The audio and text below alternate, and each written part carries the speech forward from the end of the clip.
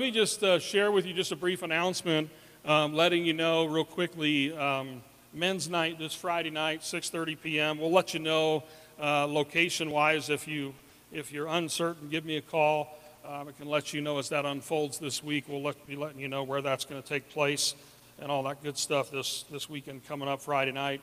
Um, and uh, I want to just jump into God's Word with you today. We're going to be taking a look back into Luke chapter 5. We haven't finished with the chapter yet. We're still in it. We're going to look at a few verses today. So once you get there, Luke chapter 5, would you just stand with me as we jump into God's Word? We're just going to read a few verses this morning. Chapter 5, beginning in verse 27. Praise the Lord. Hallelujah. Glory to God. Page 834. In my Bible, that is. I can see it now. Somebody's searching for page 834. Verse 27.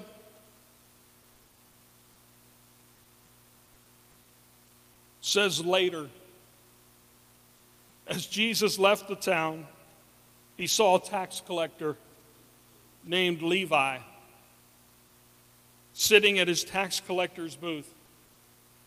Follow me and be my disciple, Jesus said to him.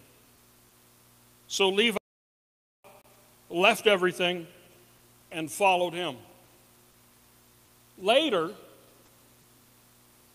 Levi held a banquet in his home with Jesus as the guest of honor.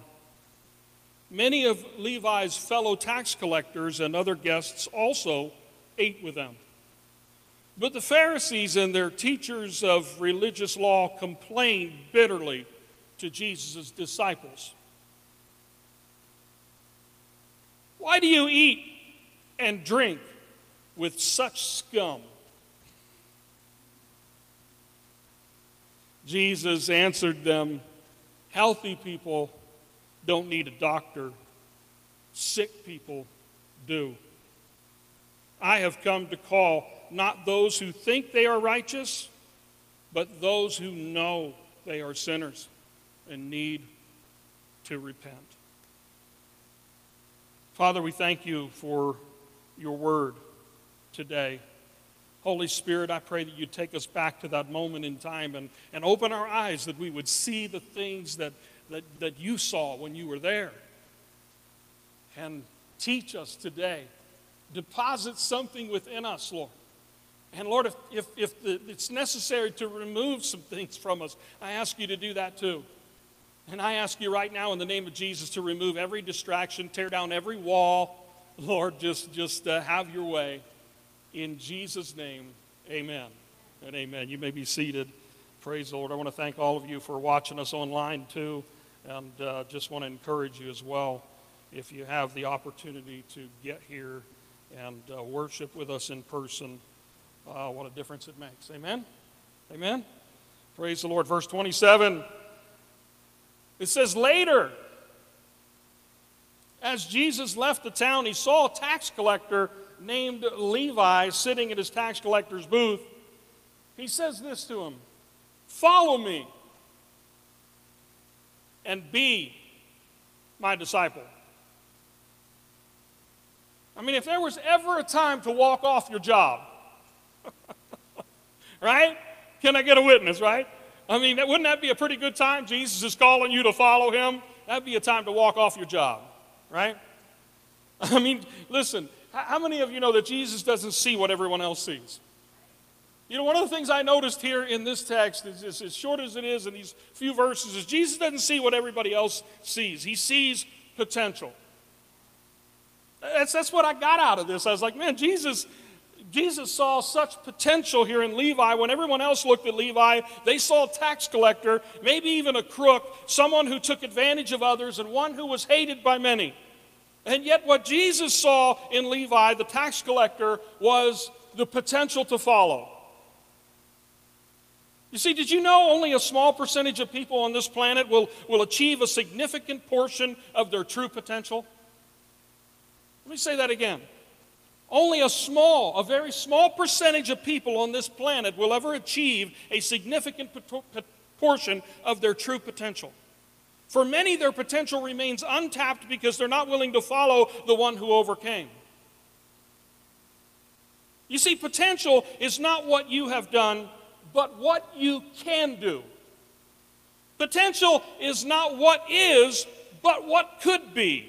And I'm, I'm just assuming here, but, but Levi had probably already been dreaming within his heart of what it must have been like to become one of Jesus' followers. I mean, no doubt he had heard the stories and, and thinking of, of, man, what he could do and, and what he could become if he was a follower of Jesus. And so when the call came to follow, he did three things. Verse 28 says, He got up, he left everything, and followed him. And that leaves all of us with a question What are you doing with Jesus? What are you doing with Jesus? What is becoming of your life with Jesus? I mean, if you want to discover your potential in Him, you have to be willing to get up. Can I get a witness?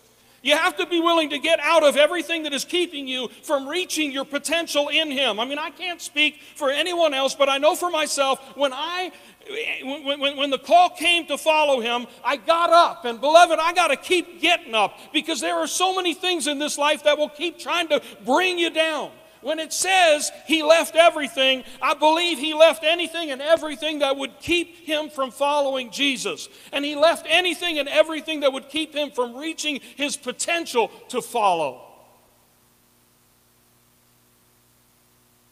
What is potential? It's dormant ability, it's untapped strength, it's unused success, hidden talents, capped capabilities. Oh, somebody's getting ready to have the lid blown off their potential today. I can just see it in the spirit. And please hear me, beloved, because I believe that many of you in the room, many of you watching online, you have this wealth of potential living within you. This dormant ability, this untapped strength and unused success, this hidden talent and capped capability. And, and just as we have all been called, to follow him, we have to realize that there are some things that we have to keep getting up from. There are some things that have been weighing us down and keeping us from discovering and tapping into our potential to follow. There are some things that we need to leave behind, like the hurt and the pain of the past, brokenness, hate, bitterness, resentment, anger, frustration, false accusations, greed, lust, addiction, and sin, and the list could go on and on. What is it that you need to leave behind today? What is weighing in on you, bringing you down, keeping you from getting up, and robbing you from your potential to follow Him in a way that you should? You see, I believe the reason most never reach their potential in life is because of the work that it takes to get there. So many within the church are stuck in sin, and we don't want to get up and we don't want to get out because we see ourselves as the victim, and we're too hooked on our pain, too stuck on our excuses, buying into the lie that we'll never reach our potential. For many, we justify all this by looking at those like Adam, all the way back to Adam. And how about Samson? How about Moses, if you will? Did he reach his fullest potential in God? Come on, somebody and many others throughout God's Word. And we use this and we think that we'll never reach our potential in following Him because of. But, but can I just tell you something? You, you wonder, okay, why, why are they in there? These stories of those who didn't quite reach their potential. They're there to spur us on so that the same thing doesn't happen to us, and so that we don't miss out on everything that God has for us, so that we reach our fullest potential in Him. So we know that it's possible. It's possible. And I, beloved, I believe it. I believe there's some of you in this room, you have been missing out on the potential that God has deposited within you.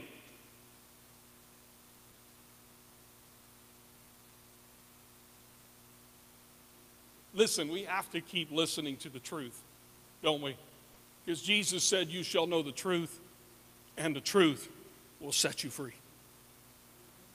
You see, how do you live out your fullest potential in Him? In Acts 17 28, it says, In Him we live and move and have our being. It goes on and it says, as some of your own poets have said, we are His offspring. How do we live out our potential in Him? We live as sons and daughters. We move and have our being in Him. Not just some of the time, but all the time in and through every circumstance, every situation that life throws at us. As sons and daughters of the King, we have the potential. We have the potential to get up and to leave all the hindrances and trouble and chaos and the mundane in order to follow Him. Remember, He sees within you the potential to follow. He sees this within each and every one of you the potential to follow. That's why He called you out of darkness and into the light. He also saw this in, in Levi, and, and he sees this in you, and he sees this in me, and that is the potential to lead. I said the potential to lead. You see, he saw the potential to follow, but, but, but then something happens. As you begin to follow Christ, you begin to, to experience the potential to lead. In verse 29, it says, Later, Levi held a banquet in his home with Jesus as the guest of honor. And many of Levi's fellow tax collectors and other guests also ate with him. I mean, we all have the potential to lead others to Jesus. But the question is, is so why aren't we?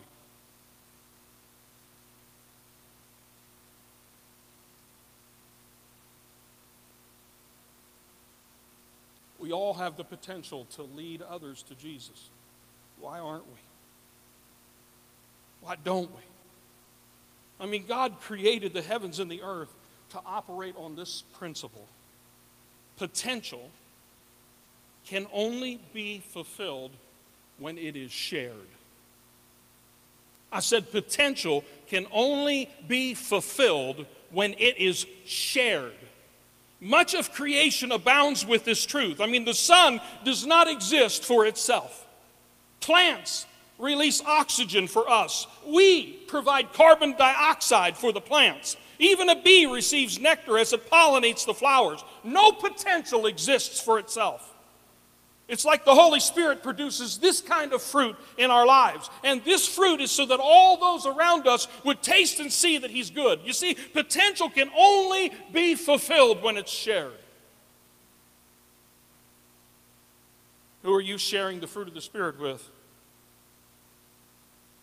Who are you sharing your faith with? I said, Who are you sharing your faith with?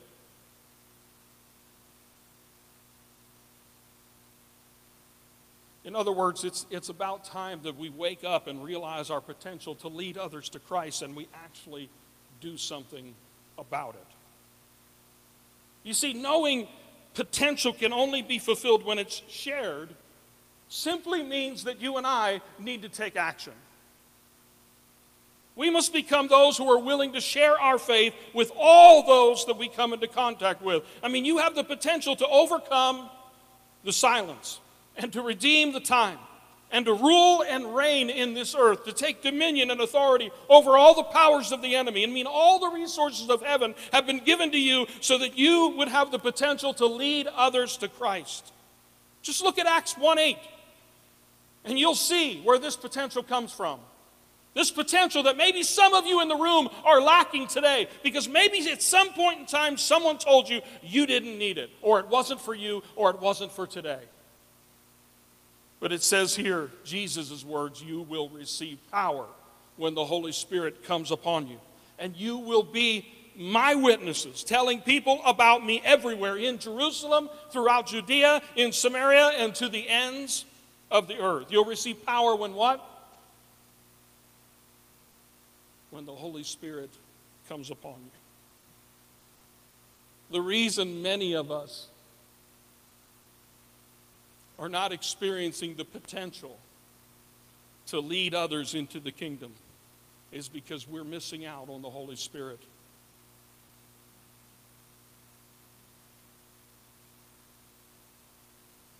You're awful quiet today.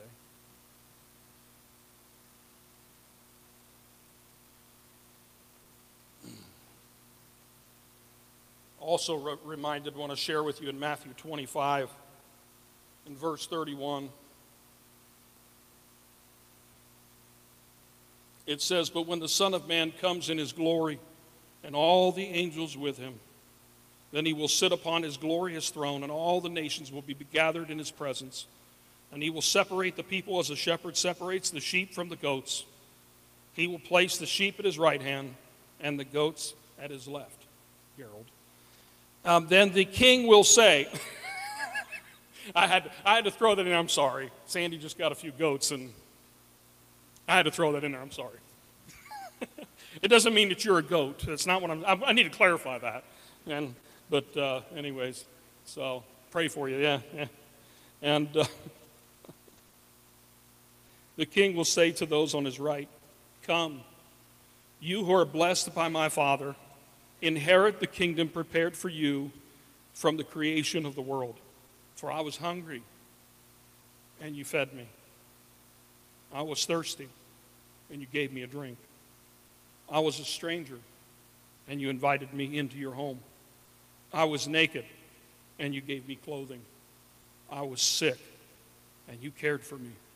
I was in prison, and you visited me. And then these, these righteous ones will reply, Lord, Lord, when, when did we ever see you hungry and feed you, or thirsty and give you something to drink, or a stranger and show you hospitality, or naked and give you clothing? When, when did we ever see you sick or in prison and visit you? And the king will say, I tell you the truth. When you did it to one of the least of these, my brothers and sisters, you were doing it to me. You see, the potential to lead, sometimes I, I guess we, we, we think that it has to be in this way, but there's so many ways in which we can lead others to Christ. Offering a cup of cold water to someone, visiting someone when they're sick, a card, you know, a, a, a note. Um, just, I mean, come on, somebody. Don't miss out on the potential to lead those around you to Jesus. Sometimes it's not by words, by what we say, but by our actions, by what we do. We're going to see that here just a moment. The third thing I want to point out to you so he saw in Levi and he sees in you the potential to follow, the potential to lead, and the potential to influence. the potential to influence. Verses 30 through 31. Look, the Pharisees, they're not too fair, you see. The teachers of religious law complained bitterly to Jesus' disciples. Notice he complained to the disciples. They, they, I mean, they, they complained, the religious leader, they complained to the disciples. Why do you eat and drink with such scum? But who, who answers them? Jesus, right? He says healthy people don't need a doctor, sick people do. And I've come not to call those who think they're righteous. If you would mean to step on your guy's toes or anything, right? After all, you're probably only wearing sandals. But but those who know they are sinners and need to repent. I mean, as a follower of Christ, you have the potential to influence all those you come into contact with. And here's the thing like Levi or Matthew, if you will, whose potential to influence has far outlived his earthly life. I mean, if you think about it, his influence through writing the Gospel of Matthew is still influencing many today. Oh, glory to God. You and I have the greatest potential to influence the lost, the hurting, the broken, the addict, the sinner, the sick, the lonely, the outcast, and those who are far from Jesus. The only question is, is how are you using your potential to influence those around you for Christ? I honestly believe if we would all just focus on influencing one life at a time. oh, beloved. I've said it so many times before, man, if we would just take and just say, God, just give me one soul, one person that I could influence for you. We wouldn't have enough room if everyone in the church began to do that. We wouldn't have enough room in this place to hold everybody. That's the truth. One life at a time. And in order to do that, we have to be willing, first and foremost, to choose them, to teach them, and to show them. I mean, come on. What we see through the life of Christ is Him influencing the 12 and even pulling in just a little bit closer the three, right? Peter, James, and John, right? I mean, He was influencing them. And He influenced them, and they went out and influenced the world. I mean, think about it. Think about the person that, that you could be influencing for the kingdom. You have the potential to influence them and the influence that they too could have, and how your, your influence can outlive you through the lives of others who are influencing. Isn't that what Jesus did? I mean, the potential to influence comes when we choose to pray for somebody. In other words, talk to God about them before you talk to them about God, right? Start praying for somebody. Maybe it's somebody that you haven't had an interaction with on an ongoing basis. Maybe it's a neighbor or a coworker, even a friend or a family member for all that matters. Choose to pray for somebody, engaging them where they are, interacting with them, looking for opportunities to serve them and bless them. Listen, beloved, you, you don't think this works? It worked for my mom and dad. And I'm so thankful that there was a couple that was willing to seize their moment of opportunity and to take the potential to influence someone's life. And they didn't lay it aside and make excuses for it. No, they took it by the horns and they went for it and they did it and they influenced my parents' life. And my parents' life would never be the same as a result of it.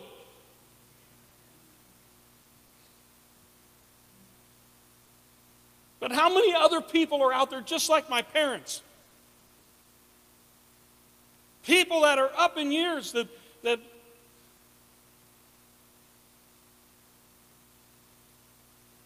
that it looks like there's no hope for them.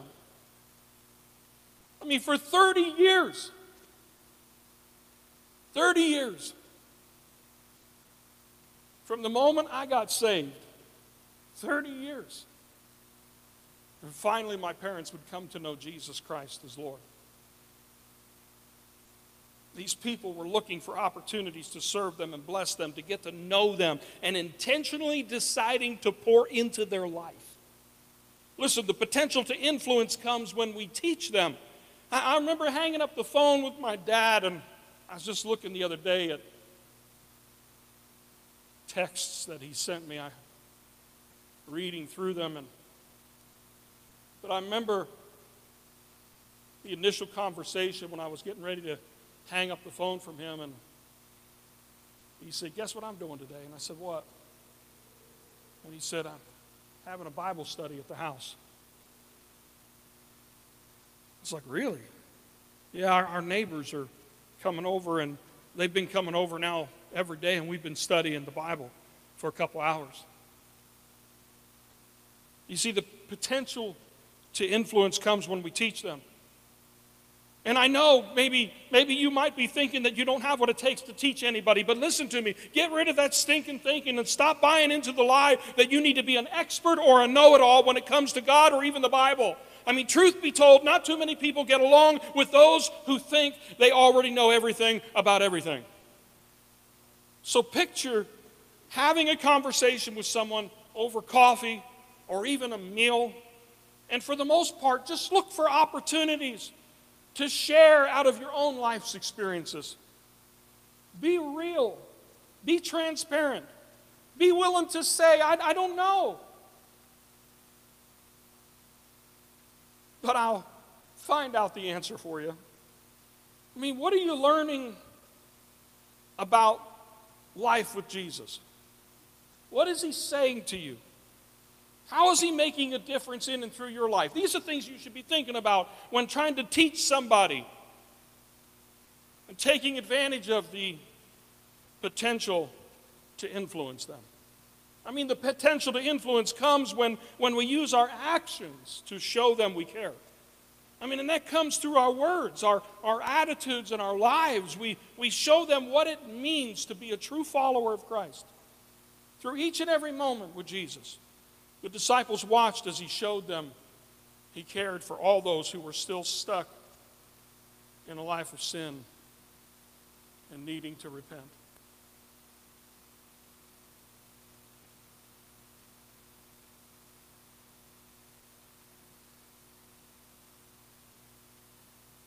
Now I realize in the story preceding this story, we got a snapshot of a man who was stuck. Many of you wrote down on a piece of paper what had you stuck. And I pray that that, that is not your story any longer. But sometimes I realize that in as much as we write something down, fold it up, put it on the altar, and try to try to get ourselves unstuck from whatever it is that, that's had us, we, we oftentimes fail because we try to do it in and of our own strength. We, we try to do it on our own. And if that's not working for you, I want to just encourage you to invite some others into that situation with you and ask them to help hold you accountable. That's what does it say in James chapter 5?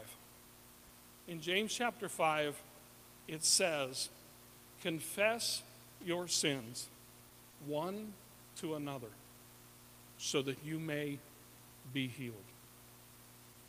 The reason we don't see that so much within the church today is because we lack trust.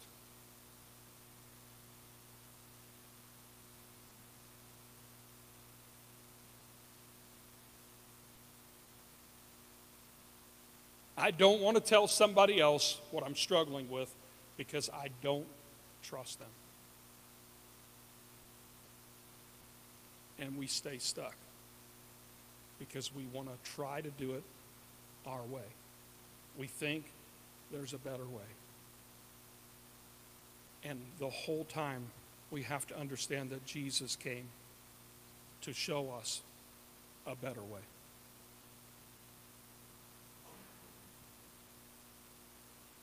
You see, you have the potential a couple weeks ago. Last week was different. We had communion, we had baptisms going on, and, and all that stuff. But, but a couple weeks ago, you had the potential for freedom. How's that looking for you right now? Oh, I read through some of those papers Monday morning and some of the things that have you.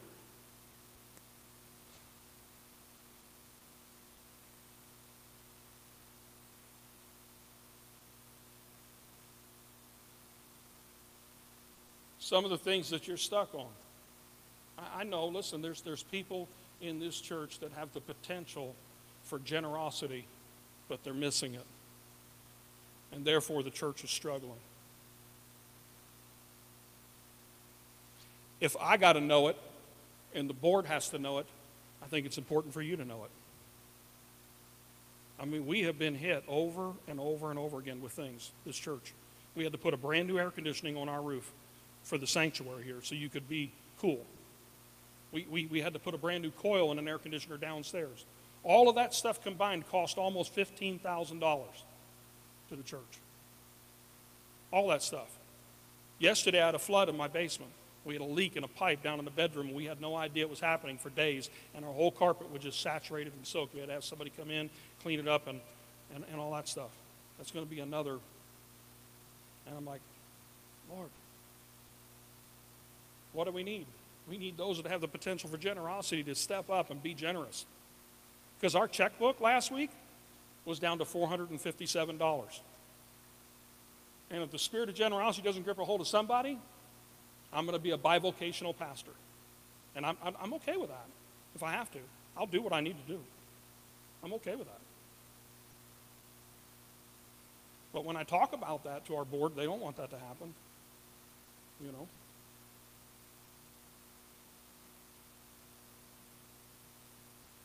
We have the potential in this church to do so much more. We haven't even scratched the surface. But we have to grasp a hold of the potential that God has deposited within us in every area of our life. And I'm praying the potential to follow grips a hold of somebody. And I have to say this in closing today that, you know, what ties and connections to the past need to be broken in your life so that you can follow Him and reach your potential to follow Him. What ties? Listen to me. Look, look at me. What ties? What connections to the past need to be broken? What needs to be forgiven? What needs to be let go of? What wall needs to come down so that you can follow Him and reach your potential? You have within you the potential to follow, the potential to lead, and potential can only be fulfilled when it's shared. That's the thing. Potential can only be fulfilled when it's shared. It's not about equal giving, it's about equal sacrifice in the church.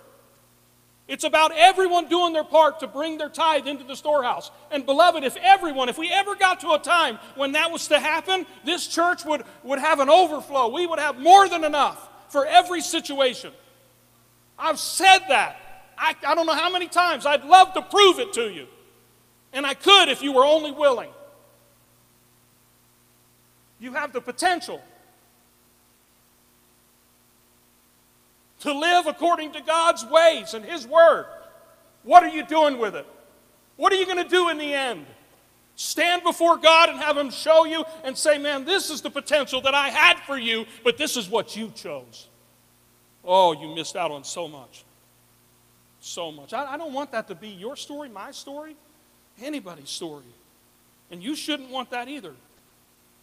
Potential can only be fulfilled when it's shared. And here's the thing the Father, the Son, and the Holy Spirit, when they sent Him, I mean, the, the Father and the Son shared the Holy Spirit when they sent Him to earth. Are you with me? Potential can only be fulfilled when it's shared. And God gave us the greatest opportunity for potential in the Holy Spirit when He sent Him to the earth. And when we receive the Holy Spirit, He gives you and I the power to reach our potential to lead, to reach our potential to follow, to reach our potential to give, to reach our potential to do anything and everything that He's called us to do, to, to, to see those around us come into a real and right relationship with Jesus. Amen. Hallelujah. Praise the Lord. Glory to God. Hallelujah. you see, potential to influence, you already have it. The question is, is what are you doing with it? Whose life is changing because of their interaction with you? Who are you influencing in the ways of the Lord? I mean, you have potential. Why? Because this Bible, this book says you're salt and you're light. You have the potential to preserve the truth in this land. You have the potential to be the light in the darkness. You have the potential to be the healing agent in, in every situation that you're confronted with. You have the potential to make people thirsty for God.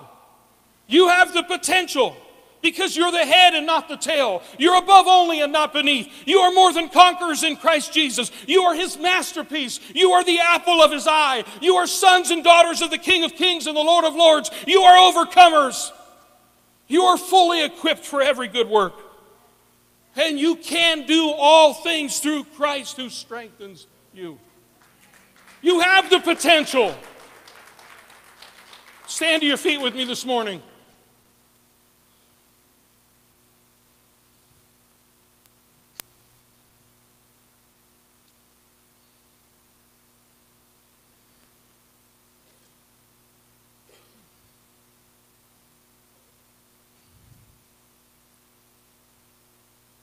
How long does it take?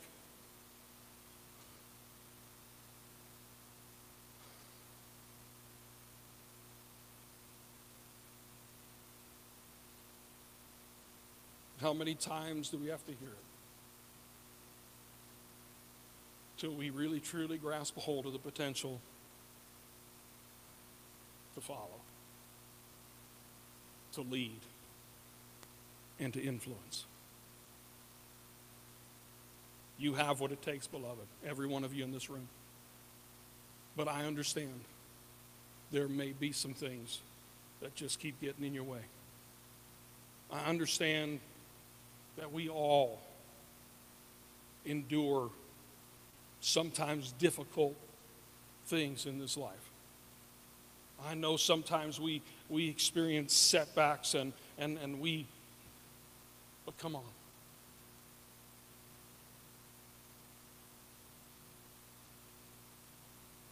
I'm reminded of another guy in the Old Testament. His name was Gideon. And the Lord saw something in Gideon that he didn't see in himself. When he found Gideon, he was in a wine press threshing wheat.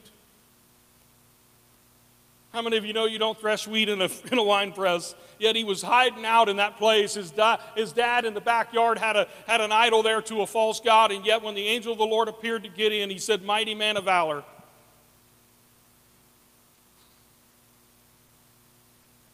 Gideon's looking, who, me? Was that the wrong guy.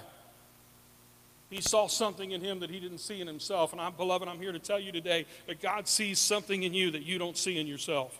He sees that you've got the potential to follow, the potential to lead, and the potential to influence people for His kingdom, for His glory, that His name and His fame would spread throughout hearts and lives everywhere. What will you do with it this week? What will you do with it in the days, the weeks, and the months to come? Will you follow? Will you lead? Will you influence somebody? The choice is yours. So, right now, I just want to give you some time, in just a moment in time, just to, just to bow your eyes and close your head. Just a moment. Go on. Bow your eyes, close your head. There you go.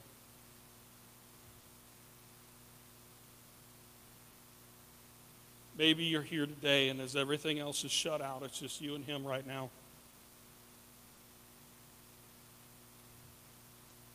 You're here and you say, Man, I, I know this, but I also know that I haven't done much with it. And if that's you, it's just, hey,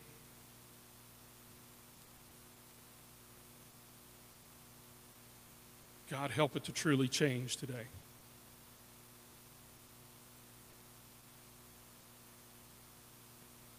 Help me to realize my potential in you. And remove the things within me that are trying to bury that potential, that are trying to cover it over, that are trying to render it useless in my life. Remove those things. Pull the things out of me that need to be pulled out of me that would keep me from reaching my potential to follow and lead and influence others for your kingdom. I want to follow you in front of my family, my friends, my coworkers, and all those you place before me. I want to lead them to you. I want to influence them for you for your kingdom, for your glory. Show me how to do it in Jesus' name. Teach me. Show me. Give me somebody that I can walk with through this, even. Show me who to go to, who to connect with, that I can encourage and they can encourage me likewise. And help me to remember that no matter who I'm surrounded with, don't let me get so religious that I think they're nothing, that they're not worthy, like we see a picture in this, in this text today. The religious thinking, why do you eat with such scum? Let me never get an attitude that I'm so much better than anybody else. Help me to understand that I myself and those around me, that they are something you didn't have, but you wanted, so you made one. Not only am I the apple of your eye, but everyone around me is too. Help me to acknowledge that and help me. Help me to, to walk out the potential that you've deposited within me. In Jesus' name, Amen. Amen. Praise God. I want to thank all of you for watching us online and you that are still here today. If there is anything at all that you need prayer for, we would love to stand in prayer with you over anything at all. And uh, you just come down front here. We, we would pray with you before you leave. And uh, um, I just want to give a shout out to and a, and a praise report. Um, you know, it was Wednesday night out underneath.